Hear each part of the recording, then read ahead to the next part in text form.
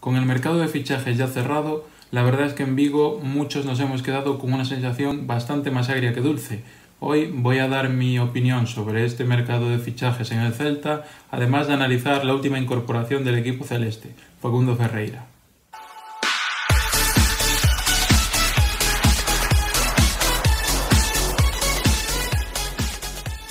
Pues sí, eh, no tenía pensado hacer este vídeo, la verdad. De hecho, todavía tengo un borrador subido de un vídeo que desgraciadamente nunca verá la luz, en el que analizaba la llegada de Facundo Ferreira, un extracto que voy a recuperar para el vídeo de hoy, que os dejaré más adelante. Pero también comentaba la llegada de Franco Cervi, y es que ahí viene la primera decepción de este mercado de invierno en el Celta, que la verdad a mí me ha dejado bastantes, bastantes dudas. Me gustaría analizar punto por punto lo que ha sido este mercado en Casa Celta. En primer lugar, tenemos que hablar de las incorporaciones. Han llegado Aaron Martín para el lateral izquierdo, Facundo Ferreira para la delantera y Augusto Solari como pivote. Y han salido tanto Caillo Kuslu al West Bromwich Albion como Lucas Olaza al Real Valladolid. En la parte de las incorporaciones, la verdad es que yo le doy una nota bastante positiva porque realmente Mm, se ha traído a un jugador cedido como Aaron Martín, un futbolista bastante prometedor que ya tuvo minutos en la liga y ya demostró su, bueno, su gran potencial y su gran nivel, pero mm, el tema de la cesión que viene con una opción de compra de 7 millones, algo que para mí es elevadísimo, yo creo que le resta calidad a este traspaso. En principio venía para dar amplitud a la plantilla, pero ya nos hemos visto todos sorprendidos por lo que ha pasado en el lateral izquierdo. En segundo lugar, llega Augusto Solari, un futbolista de la confianza de Coudet, un futbolista que ya jugó con el entrenador argentino en las filas de Racing Club de Avellaneda. Y bueno, simplemente pagó el Celta alrededor de medio millón de euros. No sé si tenía alguna variable más, pero en cualquier caso, un, un fichaje positivo. Y por último, ayer incorporamos a Facundo Ferreira, un jugador que viene totalmente gratis, firma hasta final de temporada no es una cesión porque le han rescindido el contrato hace un día o dos, pero bueno, prácticamente, como digo, si solo firma seis meses, no sé muy bien qué tipo de operación es esa. Veremos si consigue recuperar el nivel que tuvo sobre todo en la liga ucraniana con el Shakhtar Donetsk. Lo tendréis, como dije, más adelante en el análisis del futbolista. Pero bueno, realmente llega siendo una incógnita. Aquí en España tampoco es que tuviera un nivel demasiado alto con el español. Y bueno, pues también veremos qué pasa con él. ¿Qué conclusiones podemos sacar de esto? En primer lugar, una positiva, ya que son tres fichajes que vienen de la mano del entrenador. Uno ya lo tuvo en sus filas y los otros dos son peticiones expresas, bien porque le gusta su rendimiento, sus prestaciones y demás. Y yo creo que hacerle caso a los entrenadores en los fichajes siempre es algo acertado y que en el Celta en los últimos años no se estaba viendo demasiado, por desgracia. En el punto negativo, pues podemos ver que Hemos traído dos jugadores prácticamente cedidos, bueno, uno cedido y otro gratis, y el tercero ha llegado por medio millón de euros. Esto sumado a que en el mercado de verano en el que seguramente teníamos que haber rascado algo más el bolsillo, simplemente pagamos por Miguel Baeza dos millones y llegaron Murillo y Lucas Olaza cedidos, además de Renato Tapia que llegó gratis, así como Álvaro Vadillo, futbolista que bueno, nunca ha llegado a debutar con el Celta, eso también daría para otro vídeo, pero bueno, realmente como digo, en estas dos últimas ventanas de fichajes nos hemos gastado apenas 2 millones y medio, 3 millones de euros y pues con el músculo financiero del que presumía tanto el Celta y su presidente Carlos Mourinho, pues realmente nos está dejando ver en este aspecto. Continuando ya con el tema de las salidas, yo creo que aquí es donde viene el aspecto más negativo. En primer lugar salió, como digo, Kaijo Kuslu al West Bromwich Albion, Sale cedido hasta final de temporada sin opción de compra, pero bueno, no sabemos aún qué pasará con el futbolista. En principio, como digo, no hay una opción para que el equipo inglés lo compre, pero el futbolista turco sí que se ha despedido de una forma bastante emotiva. Igual, quién sabe si, si nunca vuelve a vestir la camiseta celeste. Puedo comprar que sea un futbolista que pese a haberle dado mucho al Celta ahora no estaba ofreciendo un rendimiento para nada bueno, se ha decidido darle salida, como digo, en vez de intentar recuperar esas buenas prestaciones que ofreció en etapas anteriores el turco y bueno, pues incluso me puede parecer una idea acertada. El problema realmente llega cuando Lucas Olaza, futbolista indispensable en los planes de Coudet, futbolista querido por la afición, profesional a más no poder, digamos, y sobre todo muy comprometido, pues se le da un portazo en la cara y prácticamente se le echa. Y es que para mí este tema no hay por dónde cogerlo, porque realmente en verano Boca Juniors ya le dijo al Celta que si el futbolista uruguayo jugaba 20 partidos, iban a tener que abonar la cantidad de 4 millones de euros, por lo que no es algo que les coja de sorpresa.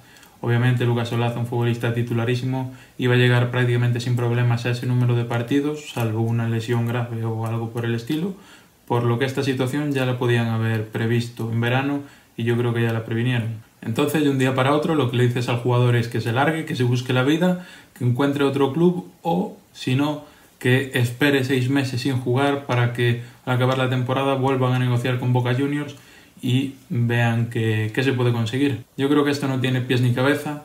Lucas Olaza en el Celta de Vigo, bueno, podríamos decir que tiene sus limitaciones, pero era una certeza competitiva totalmente contrastada ya en el club. Como dije antes, era muy comprometido, ya fichó por el Celta incluso cuando el club estaba en descenso, estuvo en el filial, un futbolista que bueno ya tenía muchas amistades en Vigo, que estaba contento en el club y que creo que incluso llegó a manifestar que bueno, por él que quería retirarse en, Vigo, que estaba muy contento y que nada, nada lo iba a llamar para salir realmente. Pues no, lo que hemos hecho es ahorrarnos 4 millones de euros que queríamos desembolsar en otro futbolista, del que luego hablaré, para al final, pues eso, darle un trato totalmente triste y lamentable a un jugador que lo dio todo por el club y de buenas a primeras, pues eso, pues lo largas. Yo no sé esto qué consecuencias puede traer a la hora de incorporar nuevos futbolistas, porque realmente estas cosas entiendo que irán de boca en boca y que a la hora de que un jugador le propongan fichar por el Celta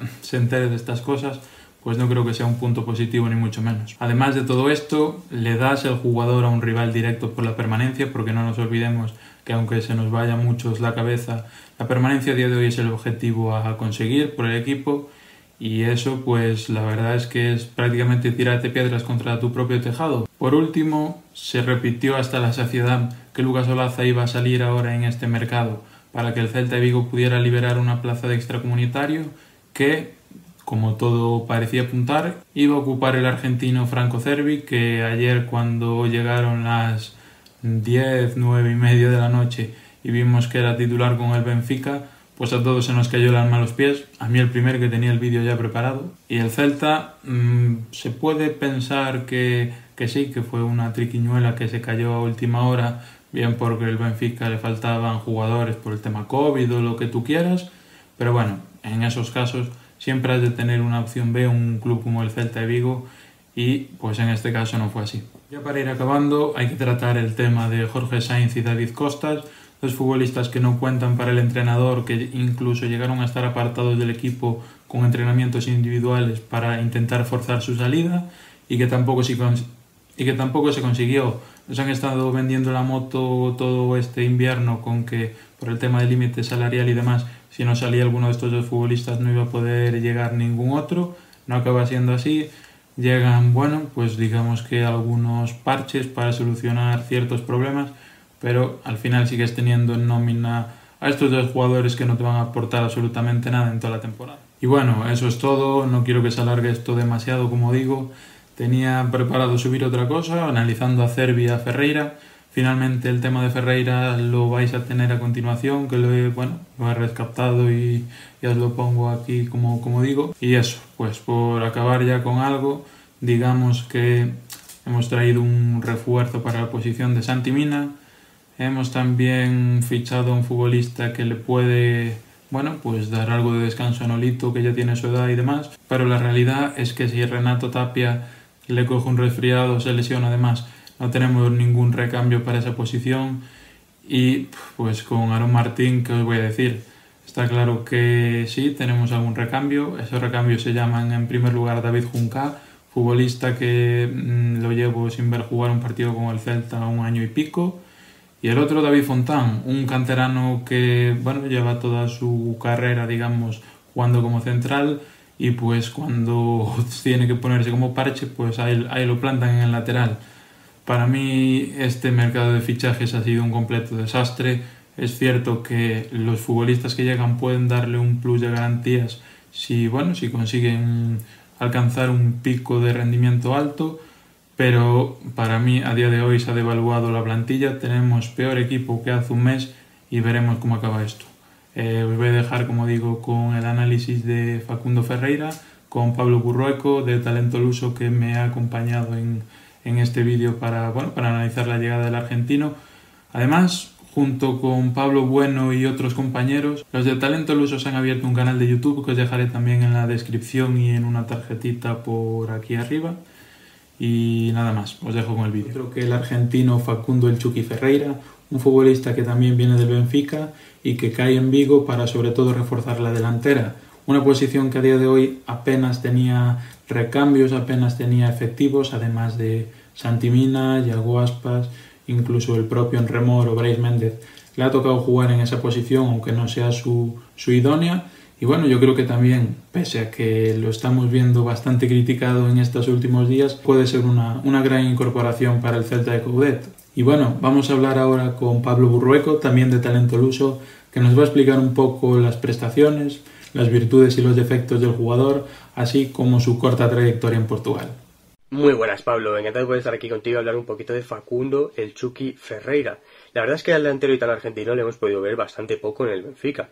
Estuvo nada más que seis meses antes de ser cedido temporada y media al español. Después, cuando volvió el pasado verano, le hemos visto otros seis meses de no estar convocado y de ser suplente, por lo que le rescindieron el contrato hace unos días. Aún así, he querido destacar algunas de las cualidades que me parecen interesantes y que me parece que pueden aportar algo distinto al equipo del Chacho Coudet. Lo primero es que es un delantero de trabajo, de sacrificio, de cumplir labores defensivas, de ir siempre a presionar al rival e intentar robar el balón en posiciones altas del campo y a partir de ahí generar peligro. Después creo que es un delantero con un buen golpeo de balón con ambas piernas, por lo que si recibe el balón en cualquier parte del área puede intentar finalizar. Y si no encuentra su hueco dentro del área, tiene un recurso bastante interesante, que es el golpeo desde lejos, el golpeo lejano, que también suele ser un recurso bastante utilizado por él. En cuanto a duelos aéreos, en cuanto a disputar el balón en el aire, creo que también es un delantero interesante, puede ganarle a los defensas y ayudar así a su equipo a generar otras ocasiones. Y bueno, pues ya habéis visto este pequeño análisis del jugador, un futbolista que llega desde el Benfica totalmente gratis, recientemente le han rescindido el contrato, no debían estar muy contentos con sus prestaciones, como bien dijo Pablo, y bueno, no sé lo que cobrará, pero a priori los fichajes que vienen gratis tienen más que ganar que que perder. Es un futbolista que su pick, su nivel más top, lo vimos en la liga ucraniana con el Shakhtar Donetsk. Y bueno, en sus dos últimas temporadas allí marcó 16 goles en 28 partidos y ojo, 33 en 46 en su último año en la liga ucraniana, como digo. Por lo que el Chacho Goudet, que dice que confía en sacar su máximo rendimiento, yo creo que si así lo consigue es un fichajazo, sobre todo por el tema numérico, algo que a los delanteros del Celta le está fallando últimamente, sobre todo a un Santimina, al que yo creo que realmente viene a suplir, no creo que sea titular ni mucho menos en un primer momento, pero que si consigue ponerse de cara a puerta con bastante acierto, seguramente le pueda incluso acabar quitando el puesto al gallego. En España, como digo, lo vimos jugar en el español, Llegó en invierno de la 18-19, jugó apenas unos 9-10 partidos, pero bueno, regresó, como digo, el verano siguiente, ya para disputar en su totalidad la temporada 19-20, en la que el español incluso jugó la Europa League, y ahí pues le vimos en un total de 29 partidos anotar 10 goles, lo que es una cuota goleadora bastante buena para, bueno, el pesimismo con el que nos hablaba Pablo. Y es que realmente con que consiga recuperar un poco del nivel que vimos sobre todo en Ucrania, puede ser un futbolista bastante importante en este Celta de Coudet. Sus prestaciones pues son prácticamente las que se le pide a Santimina, un futbolista que pueda fijar a los centrales, un futbolista corpulento, que te pueda dar soluciones en el juego aéreo, sobre todo con los centros de Lucas Olaza que supongo que tendrá que suplir a Aaron Martín. Y bueno, además de esa labor de fijar a los defensas, de crear espacios para futbolistas que puedan llegar desde atrás, como bien pueden ser Yago Aspas o Bryce Méndez, a los que solemos ver por esa zona. Yo destacaría una de las virtudes que ha nombrado Pablo, que es el tiro desde larga distancia, el tiro desde fuera del área, porque realmente vemos como al Celta de Vigo, que suma muchos efectivos en ataque, los rivales se le cierran bastante, con un bloque bastante firme, como digo, atrás y muchos futbolistas acumulados dentro del área, pues el disparo de larga distancia, como digo, siempre es un recurso. A día de hoy los futbolistas celestes no lo están explotando apenas. Vemos como solo Fran Beltrán normalmente se suele atrever sin bastante éxito en cuanto a la cota goleadora. También incluso Bryce a principio de temporada sí que se atrevía algo más, pero bueno, lo vimos matar más palomas que disparos a puerta realmente. Con que tenga cierta puntería, como digo, desde fuera del área, puede ser una solución para algunos de los problemas del Celta. Como estáis viendo por el vídeo este de fondo encima de mi cara, es un futbolista que el juego aéreo, pese a que no sea un futbolista muy alto, mide tan solo 1,83, pues el salto, el poderío y sobre todo el cabezazo, el giro de cabeza, le da bastantes puntos en ese aspecto.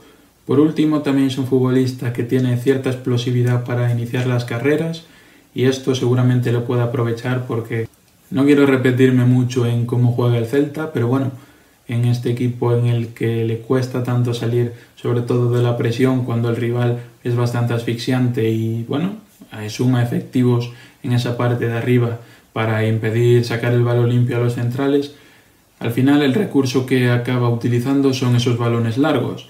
Como digo, Ferreira es un futbolista que tiene esa explosividad para correr el espacio y pues con su corpulencia y su poderío aéreo seguramente también pueda convertirse en un recurso para sacar la pelota cuando el rival asfixia arriba.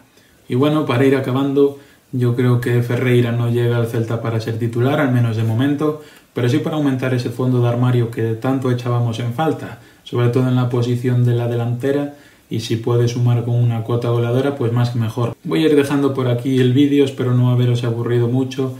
Muchas gracias también a Pablo Burrueco y a Pablo Bueno, por supuesto, de Talento Luso, cuenta de Twitter que os dejaré abajo en la descripción. Pues eso ha sido todo, eh, me despido, si has llegado hasta aquí muchas gracias, deja un like, suscríbete, activa la campanita y nosotros nos veremos por aquí próximamente. Esperemos que para dar alguna noticia algo mejor que esta ventana de fichajes. Pero bueno, nada más, como digo, nos vemos por aquí en otra, así que adiós.